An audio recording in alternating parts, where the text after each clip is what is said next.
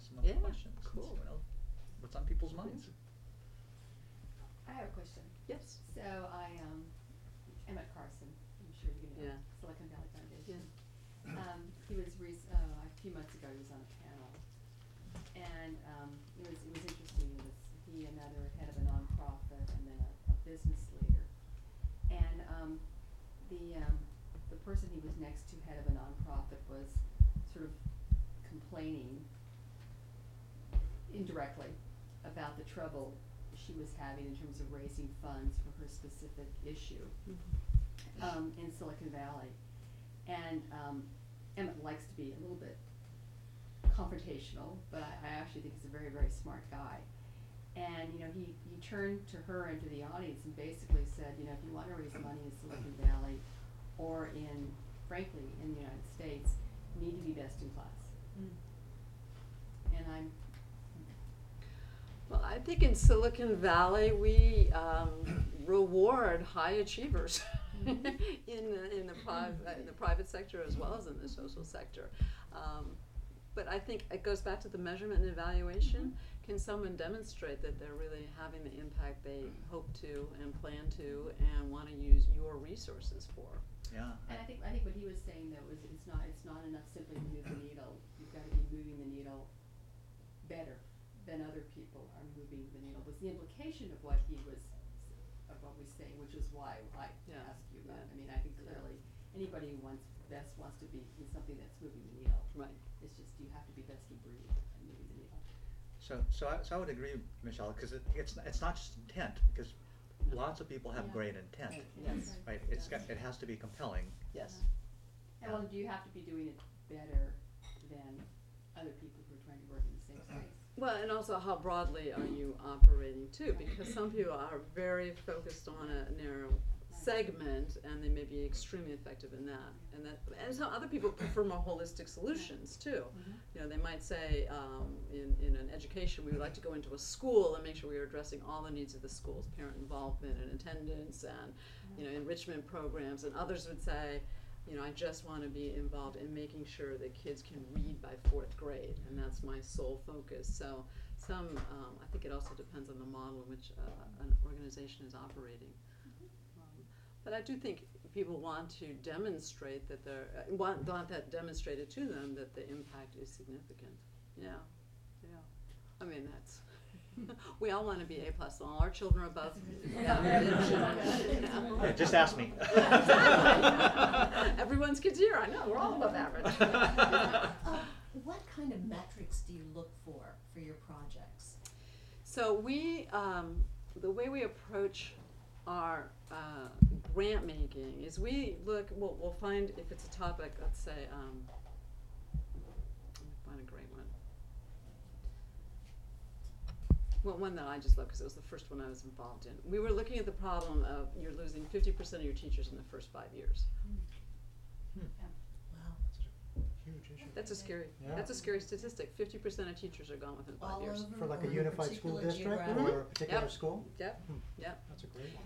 Well, why? So we were looking at how to, and, and what's being done to solve that. And so a lot of it is the youngest teachers get in the worst performing schools and they are not supported. They don't, they feel isolated, they have no mentors, they don't have a lot of tutoring, they're sort of shoved into a classroom and that's the extent, they don't have necessarily the tools. So we were looking at organizations that were trying to address that particular teacher professional development, sort of indoctrination and professional development side. Found some great organizations in here.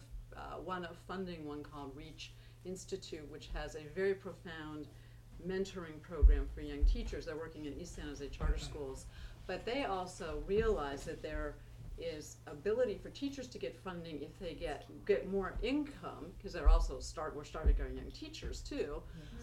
They don't get enough pay, but if they get a certification, they can then qualify for enhanced compensation.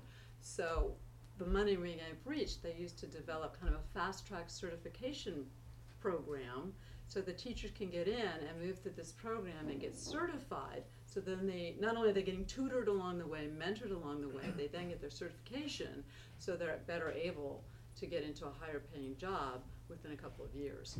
So that's something that's moving the needle. And Reach, we gave them a hundred and now got a seven million dollar social innovation fund grant. So they're gonna take this model and start putting it in. We started, they were in East San Jose, now they're up in Oakland, they're in San Francisco, they're in San Mateo County, they're in Santa Clara County, and they're gonna be able to move it to other areas. So that's where you find a model that can have that kind of mm-hmm. profound change, and we try and look at can it scale. So that's one of the things, and sometimes they don't, scaling can either be replicating, going into a lot more schools, or it can be going deeper into a community or an issue and trying to make really profound change there. So that's how we, it's, it's got a different measurement, whether it's deeper, Yes. wider, broader, but it's all, can you, can you start to reach the scalability And point? how much monitoring of that do you do? We, um, usually that's where our kind of informally after our three year, turns out very often an SV two partner goes on the board. Um, partners, and even, even organizations we meet during our grant round that may not have gotten a grant, people fall in love with them and, and they follow them and get involved. So we track the ones that we have funded, um, and we, we do some case, stu- we, we do case studies of virtually all of them so that we're getting a good repository of our portfolio. Uh, and then there's an organization, SV two is one of a larger, um, called Social Venture Partners International, SVPI, one more acronym for us to know. Um, and that's SVP, Social Venture Funds Partnerships throughout the United States and some international. And we've got a conference coming up, an annual one, and we communicate with each other around organizations, what's successful for them, what's scaling. Sometimes we will do a handoff in a way, we've got an organization that's doing well here and they want to expand into another area, and we'll make those introductions to those social venture partners there to see if there's a, a way that they can bring them into the community that they're involved in. So we're also trying to get more collaborative on how we scale these very successful nonprofits. Um, yeah, it's great. It's really profound stuff. Question that hits very close to home. Um, to what extent are your investee organizations um, challenged by the difficulty of finding great engineering talent? Because I assume a lot of a lot of the strategies of your investee organizations are web-based, or web is a component of them. And I find as a startup in its eighth year in the Yeah. valley that you know sometimes, and I talk to many other startups at Plug and Play where my office is, it's very difficult to attract top-notch engineers when you're competing with Google and Facebook and the like. You know, it's almost better to be in Kalamazoo Yeah. than, than in the Bay Area because you're early stage. Do you find that that's something you have to help? I think get talent creative? acquisition, not necessarily, not only of engineers, is an, is an issue in nonprofits. And Yeah. you do get a lot of kids who will, and I call kids because they're, you know, a lot of them college graduates. Right. kids now. but who are wi- who are willing to get that one year or two of, of service. They really feel mm. strongly that they wanna give back. But long term, you know, it's funny because one of the areas we fund is environmental, and, and the group we funded this year uh, is called Pie Ranch, and they're all about sustainable agriculture. So I'm, I'm sort of thinking that their ED came in and he was like wearing his jeans and his denim shirt. And he's like, "Is this okay if I dress like this, Nancy?" I said, "You're a farmer, of course." Right. But, but you're saying the strong mission is actually something that helps to. Yeah, yeah, Okay, that's yeah, great. Yeah, yeah, Huh. But I do know other startups that I'm, I'm associated with that do have issues with finding Right. engineers. Yeah. you might get them for a short period of time. Yeah, we, But then we there are creative. you know, organizations that do provide some help. You know, sort of like Code for America is It's- trying to help I was just mean, gonna that's a that, great yeah. example of using brilliant engineers. You should tell this audience about them because they're cool. Yeah, well, But- we actually hope to get introduced to them because Yeah. the former assistant city manager of Palo Alto, who used to work with Jim Keene, um, she's now gone to the uh, city in the East Bay. But she's on, she's one on the advisory board of Code for America. And so they've been very successful at just getting talented engineers to work full-time for a year, you know, before they go back to their high-paying jobs. And there's so much, so many people are interested in helping local government work more efficiently and produ- and more product, more productively. So that's a, that's a great example, but I don't, I, I haven't had any conversations with people directly yet. I mean, there's a case where people give a year and they come up with projects like monitoring. Yeah. Uh, what was one was something to monitoring um, water hydrant, like because they have to be flushed out, and they came up with some great web-based tool. you know, it's just a bunch of engineers coding away for free, gave it to municipalities Yep. to use. So there's people who are willing to put that kind of a time in and create great projects that can be utilized to make our government more efficient. So There's a lot of ways to get engaged. a lot of need. There's a lot of need. I have two questions. One is, do you guys uh, work with professional sports teams or leagues? And then the and if so, how do you do that? And then the second thing is, you mentioned that you really work with a lot of best practices and um, obviously measuring outcomes. And a lot of times nonprofits have a difficult time measuring outcomes, Right. and for a variety of reasons. But a lot, depending on their community they're serving, they're very transitional. Mhm. Um, have you or do you? You had mentioned earlier that um, you do First Friday educational events.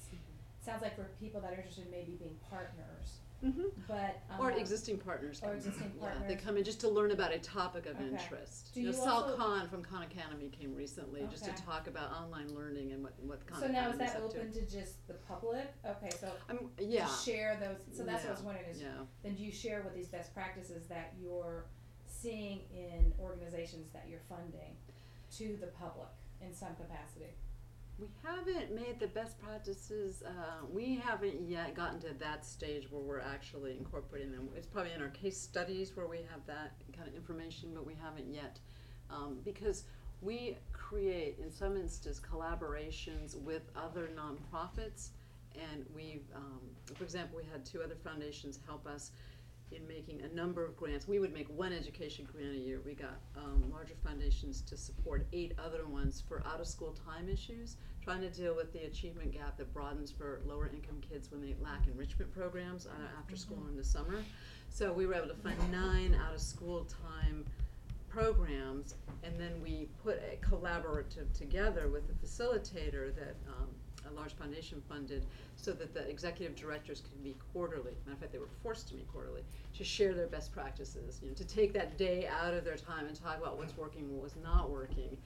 And they were then starting to develop and codify some of the practices that they're doing. So it co- comes out of the nonprofits, and we haven't yet become the repository, but we're, that's one of the things we're working on. So before you And then we have- do not have a sports, um, professional sports team affiliation. We have funded a group called BAWSI, Bay Area Women's Women's Sports Sports Initiative. Initiative. That was an SV two grantee Okay. from years Okay. back, yeah. So, uh, and just speaking on professional sports teams, if anybody's wa- got, watching the, uh, the, the scores on, don't, don't, don't say it, right? But, uh, Don't Being spoil it. DVR'd, Don't yeah, spoil it. please, Jeff, no DVR, so update on no- the So no score. updates on, and, and she, we promise you, not, and advice is don't listen to the radio on the way home. Yeah, it's already off. Yeah. Exactly. Bob- Bobby, Just really interested as to why only non-profits? I mean, that's obviously your mandate, but why, why is that? We are, it, it, right now it is our current, we are a five oh one C three that's only granting to it. But one thing we're looking at is are there other vehicles, like PRIs, are there other, you know, ways that you can get other capital that might have a return? Um, so we're constantly trying to see what's going on in the market, you know, I'm tr- trying to learn about social impact bonds and things like that to see if that's really gonna be a probable tool, because how many, you know, it's, it's the financial lepers, so, yeah, so remember, right, that, it's that IRS, yeah. uh, um, dividing line is, makes, makes it really, And I do, I serve on the board of another organization on SV two called Embrace, and Embrace came out of the Stanford, um, uh, Graduate School of Business, a program called Design for Extreme Affordability. And the challenge they give a multidisciplinary group of students is take a product that works in the developed world and do it for one percent of the cost in the developing world. And team uh, now Embrace, their, the product was an incubator, so twenty-four seven electricity, um, it does a lot of things because it will monitor oxygen and other metrics on a, a, a low birth weight baby. But their challenge runs about twenty thousand dollars. So the challenge was to come up with something at one percent of the cost, and they've done it.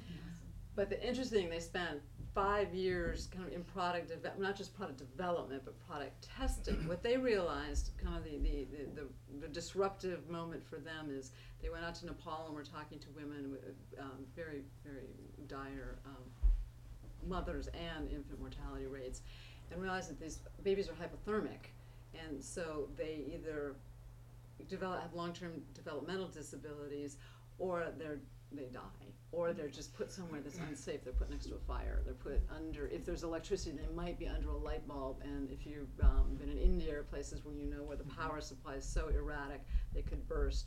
Um, so, but the, the real reason they needed warmth, these babies were so cold, so they said, ah, 80 to 90% of using incubators is to keep them warm. We'll solve for warmth. So they took a phase change material, which I call like a paraffin wax. There's a, it's in a packet. Um, if there's any electricity, you have almost like a waffle iron that you can heat it with, and then there's a little sleeping bag that you can slide it in. And if there's no electricity, you can use hot water and pour it on it, and it holds body temperature for four to six hours, so that you can then swaddle these babies and these m- women in rural India, Nepal, and Somalia, and, and places like that can can one swaddle them and put them down while they're attending their other children, their crops, or you know whatever they're doing to try and maintain um, their lifestyles. So Embrace was really trying to get this product worked, and there are places to sell the product. There is a market in low in hospitals. There's a market in rural areas that they can sell it to, and there's a market where there is no money available. So they have become a hybrid organization. They have a for-profit arm, and it's been funded by Vinod Khosla's Social Investment Fund, and Jeff Skoll, who was the founder of eBay, his mm-hmm. social investment fund, gave them venture capital, and they are truly a for-profit, and they are supposed to sell a lot of baby warmers and mm-hmm. get them into distribution, and they have deals with GE Healthcare and all. And then there is a not pro- not-for-profit, which is trying to participate in those areas in the world where there is no money, there there is mm-hmm. no funds available to buy in. So they're trying to put together these. They have this hybrid organization, for-profit, not-for-profit, and we're kind of learning the rules on that because Yeah. to your Yeah. point, there's this dividing line, and we're Well, like, so, so, you, you, and, uh, Zoe Hunton, who, who I know you know, Yes, yes, I right, saw she- her today. oh, you saw her today? At IDEO.org. Yeah. Yeah. Um, you know, she, she, she prefers to use the, the word, I think it's tandem organizations rather than Tandem. hybrid, because they're not, they're not hybrid, They are not. They are two. They're Yeah. they are two separate, entities. distinct, so It's tandem is true. a very, It's a better word. It's a I, better- I it's a better actually word. looked at when I set up our block, which, you know, in the first four years was called E-Block, because the social side was so strong in what we were doing, I considered a dual entity structure, and I actually met with the head of the nonprofit practice at uh, a legal firm in San Francisco called Coblentz, Patch, Duffy, and Bass. And she actually advised me, I had this notion of E-Block initiatives, it was E-Block instead of R-Block, and, and E-Block Technologies being the for-profit side. And I looked into all the restrictions that you'd have to have on inter-entity transfers, you know, because that can get really very, very Yeah. uh, sort of hair-raising and, Yeah. you know, to basically respect all of the legal aspects of two very different kinds of entities. And she said to me, look, if you have a, a strong ROI-based model that you think can scale, she advised me just to do a for-profit uh, entity and not have to keep, Yeah. you know, raising money uh, at a, at a, at a real frequent pace, you know, on the nonprofit side. yeah, and Zoe, Zoe too is, right, her, her advice to a lot of these startups is, and especially on the social venture side, Mhm. is simplicity. Oh, sure, Mhm. exactly, Mhm. yeah. Yeah. You know, and, Yeah. and, you know, she says with any organization, for-profit, not-for-profit, it's gotta be po- Clean. uh, it's gotta, well, it's gotta be profitable, Mhm. right? We can't, we've gotta run, again, it's the financial model, the under, the financial underpinnings of an- any organization are so critical. Mhm. If it doesn't cash flow, it stops. Right. And so she's like, keep it simple, worry true. about some of these other st- structures later. Yeah, Right. exactly, maybe Yeah. promote. Yeah. Right. Right. Susan? Early in the presentation, you indicated that there was a difference between impact investing and investing for impact. Now, maybe I missed the differentiation, but could someone define that? Yes, so, so, so impact investing is, is a, is a, is, is, is the hot term that talks about investing in for-profit companies. Right, it's investing in a for-profit company, but, but some of that return is, is, is, the, the critical part of it is it's, it's returning social capital, but they're for-profit companies you take an equity position or, or a debt position, you're actually, it, it actually is a for-profit company. You can't take equity positions in, in nonprofits. You, you don't, in a nonprofit, you don't have the possibility of taking money back out. So remember, as I, as I Yeah. mentioned, right, it's the Yeah, whole, you got it. the critical thing about, and, and a Right. financial investment is how you get money out. And with a nonprofit, the answer is you don't. And I, so, we invest in nonprofits for the impact, so we're investing for impact. Got it. But the impact investing's gotta be on the, on the, uh, for-profit side, yeah. Thank you. Right. So what if the non-profit is building, helping build businesses? Because, That- that- because yes. then you get the, can't, can't someone come in and invest in the, e- in the actual businesses that you're building? I mean, there's a new rule where you can actually put investment money into a non-profit that's building out for-profit enterprises. Is that not, is that not the, ca- I mean, this is getting complicated, I know, but I, I think there is the possibility to do that. I, I do not believe there is, it's still, you're, you're start, you might Is that a start to see Corp? these. t- Maybe from- she's a B Corp? Have a social No, No, it's a, it's a non, you, you- so it's a non-profit, say based in the Yeah. US, that's Yeah. building out businesses and for-profit enterprises in the developing world, for example. Yeah, so, so So- again, it's, it's, so the cri- the critical oh. piece, well, see, like Mercado Global is building economic, uh, capability in Guatemala. I visited them this summer Mercado Global or? in, in Guatemala. Oh, you did? This is an amazing They're organization. What's it called again? Mercado Global. Oh, you mentioned, yeah. And they are up, they are working, um, with some of the poorest people I've ever visited. Wow. They're up in the Guatemalan highlands, and these are indigenous Mayan women, and, uh, they have been, there's been so much bias against them Oh, for gosh. so long, and then a thirty-six year civil war. Hmm. Uh, and they have just so little, but they have incredible craft skills. They do these beautiful weavings and embroidery and jewelry making, but there is no market. They don't have roads. you know, they just it is really um, a very very poor environment. And they had a long civil war, and all of them were touched. Either family members were murdered. There was a lot of rape. There's just incredible issues, and this woman, young woman, Ruth DeGolia, came as a Yale student to do some research there and just had this absolute wait what they need is a market because to the Right, right. extent they would sell 'Cause it's it, such they would beautiful sell through stuff.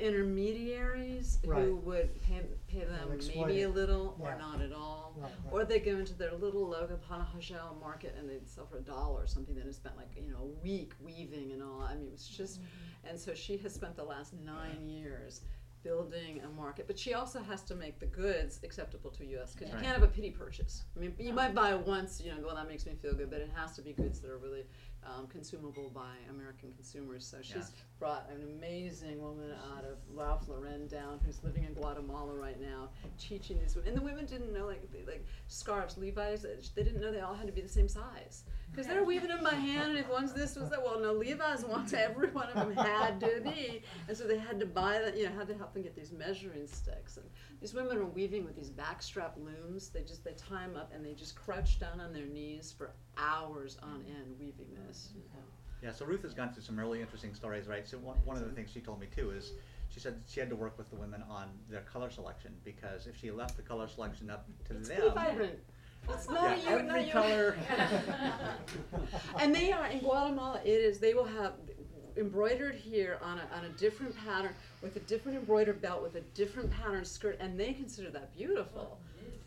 For some. It's Yeah, very that's right. it's very beautiful for them. If you put them in Manhattan, it's you know, or if you put them in Union Square, no one's going to buy those things, so they have to get them in color selection. And, But, yeah. but back to your question, Bobby, I think uh, from the, from the IRS perspective, I believe it's still pretty clear about, you know, i- i- is it a, is it a donation where you're, where you're, Yeah. you know, No, I giving mentioned up? that the other day, so I was just, I wondered if anyone, I, I, I need to investigate further. Yeah, because I understand what you're saying. Where they Yeah. provide some of the services, but the organization that's the Yeah. beneficiary is a for-profit.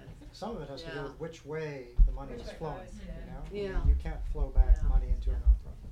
Yeah, Okay, so um, I have run for pro- pro- for profit uh, impact and non-profit organization, and uh, going back to year scale, uh, one of the differences in the non-profit sector, especially in the music space, uh, I have a music education uh, non-profit 501c3, but there is very few uh, commonly agreed metrics as to how to measure the performance of music focused um, non-profit organizations. Um, for the impact investment, you can measure the environmental impact by uh, carbon dioxide or you know the people impact by the wage increase and things like mm-hmm, that. Mm-hmm, but uh, mm-hmm. especially in this education space, there is hardly a you know, effort to standardize some of the measures and metrics so that we can you know, even raise each other for better performance. Right, that's the holy grail, measurement and evaluation, I mean, it is, such- it really is.